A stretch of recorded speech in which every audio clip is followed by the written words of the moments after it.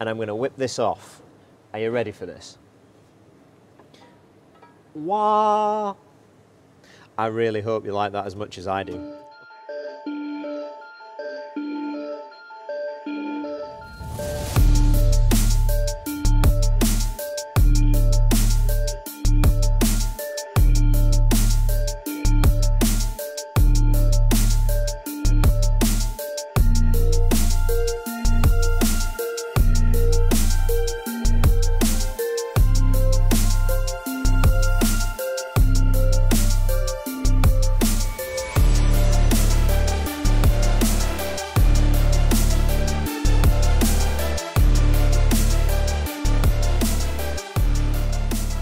Right, you guys have been asking for ages and I've been wanting to deliver a new billet inlet manifold. Well, here it is. Take it away.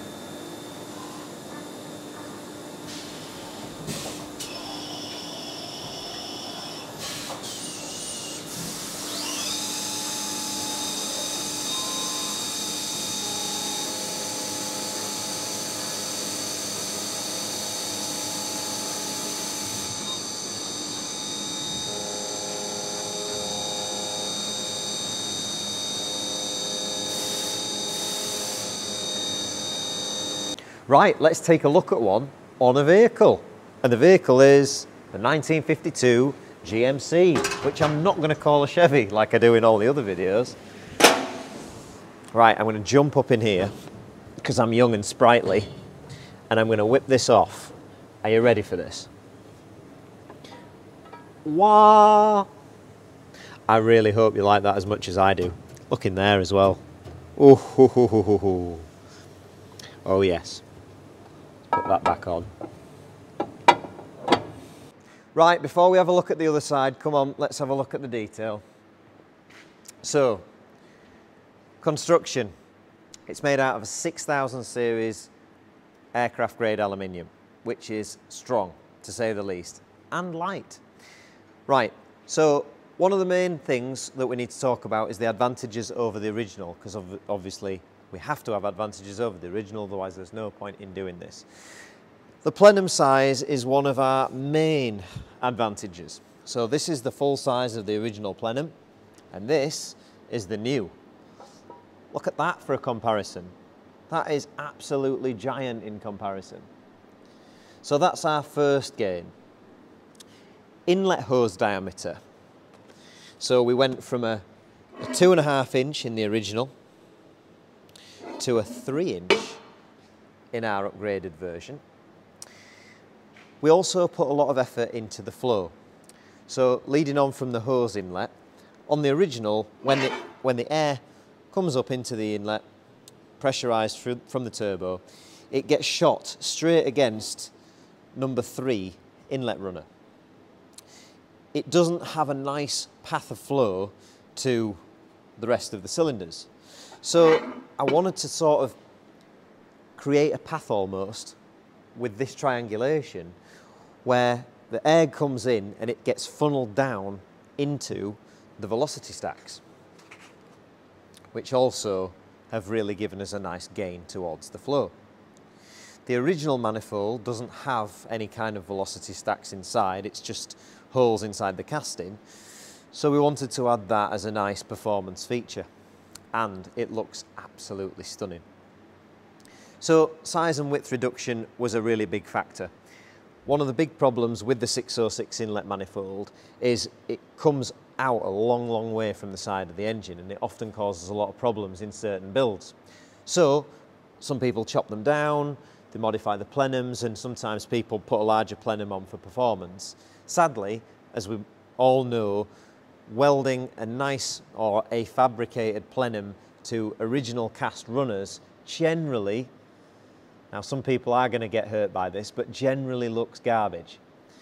Now, I wanted to be able to make it, it look factory, better than factory. I wanted it to look, you know, industrial and this is kind of where we've got to with it. So we've also, with, with having the design we have, the compact design, we've got a reversible sort of lid. So we can either place this lid on that way as you can see, that sits onto a nice recess. That thing can't move or walk around. That actually sits on a lip. And if you want to face it the other way, you can. So you can take that boost pipe over the top of the engine. And also the beauty in the design, the way that it has this nice curve, when this is facing downwards like the original, this central section, which is the highest section, is only sort of 50 mil higher than the, the centre of the engine. And obviously you can see it ramps down towards the front, which means that generally most vehicles, we've got loads of clearance, even though we've got massive gains everywhere. So as part of the lid, we've also got an O-ring. So the complete bottom of this lid, you can see how thick the construction is, uh, carries a 3 mil O-ring and that allows us to seal directly onto this nice thick base plate. And this section here, which is removable, you can get different size ones. These are also trumpeted. These have an O-ring on them also, so they can be removed and replaced uh, without any problems time and time again. You don't have to put a new gasket on every time you take the lid off if you want to take the lid off. Uh, right, where else are we? So, oh, nitrous ports. We also integrated six positions directly above the velocity stacks between the pairs of cylinders for nitrous.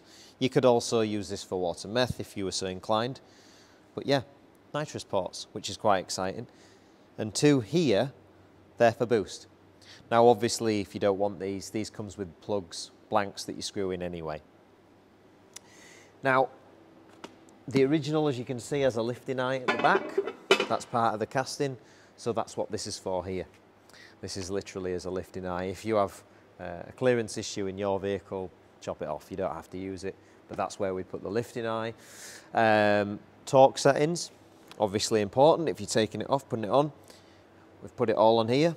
So you've got your M7 flange bolts for the head, 17 newton meters, M6 lid bolts, which are obviously the ones that go all around the perimeter of this lid, 14 newton meters and that's our unique part number there from the manufacturing process. Um, and one nice detail which most people might notice is if you look at most of our machining, the finishing is to usually quite a high tolerance. Now I wanted this to kind of look a bit gritty. This is bordering on the artwork side of engineering and that's what we did. We've got this nice finishing pass here which is quite a quite a coarse overlap, and it's given us this really beautiful um, linear sort of look, which kind of really shows the the contours of the plenum. Right, so now you know about our billet inlet manifold, which I'm really excited to show you. These are obviously going to be anodized. I think I'm going to go with a I think I'm going to go with a gunmetal grey, maybe a black suggestions maybe in the video. What do you think? Cat yellow engine in a 52 Chevy, you're going to go for black, gunmetal grey, don't say gold, don't say blue or red, don't want it. right, let's have a look at some of the other little quirky features on this and, uh, and then we'll wrap this video up. Note, cod piece, very important heat must stay within the manifold and turbo to get the maximum efficiency and potential out of that engine. As you can see, this is a removable cod piece to keep the heat in. And the manifold billet also, which is revealed, fully ceramic coated. Now this is a plasma applied ceramic coating. So it looks a little bit rough on the surface, it's like a textured finish. That's how you know you've got a good a plasma applied ceramic coating, that's going to keep the heat in there. And um, this broken, horrible plastic valve cover is literally just a prop and we don't care about that. But that's what we do care about. And cod pieces. Right, let's take this engine out and have a better look.